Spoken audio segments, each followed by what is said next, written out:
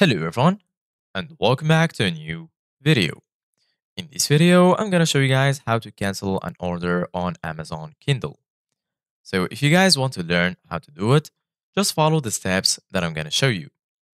As you can see guys, I'm right now in Amazon Kindle and this is how the homepage looks like. So right here in the bottom we have home, library, shorts, and more.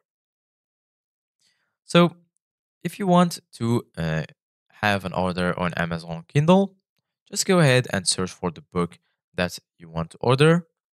For example, I'm going to choose this book, click on it, and then right here, you're going to be in the uh, books page. So if you want to order the uh, book, just go ahead and click on add to list, and then you will be able to add that book to your list.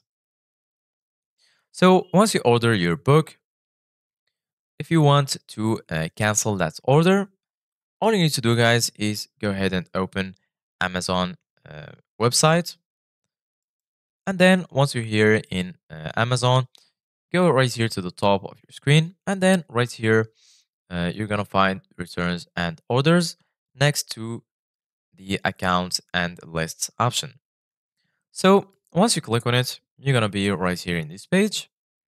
So once you're here, under your orders, you're to find orders, buy again, not yet shipped, digital orders, local store orders, and canceled orders.